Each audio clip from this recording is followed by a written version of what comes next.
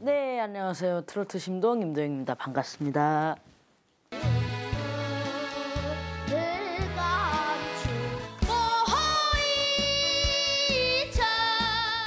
초등학교에서의 마지막 해인 6학년을 지내고 있고요. 코로나19로 인해 많이 변화된 생활을 보내고 있습니다. 제일 중요한 걸로 수학여행이라든지 뭐 가후 운동이라든지 그런 게 좀 취소가 됐고요. 거리두기의 일환으로 짝꿍끼리 붙어서 앉을 수가 없게 되었고요. 급식실에 칸막이가 이렇게 이렇게 생겨가지고요.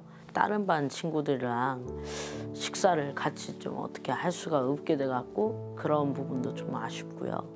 음악 시간에는 이제 코로나19로 인해서 노래는 안 부르고 그냥 뭐 비데오 하나만 보고 끝나는 경우도 많게 했고요. 교실 수업이 솔직히 더 집중 같은 게 더 잘 되고요.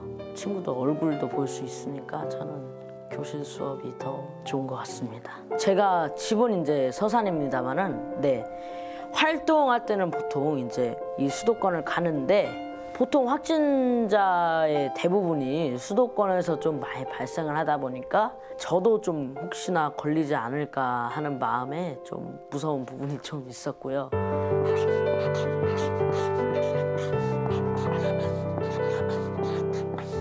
할머니 댁에 노래방 기계가 있어갖고요.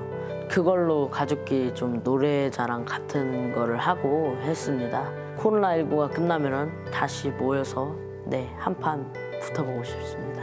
제가 가장 좋아하는 노래가 김연자 선생님의 아침의 나라에서인데요.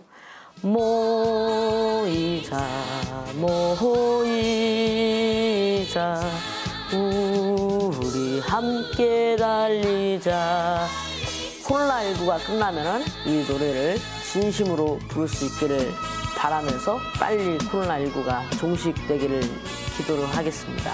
우리 모두 하나 되어 코로나19 이겨냅시다. 대한민국 화이팅!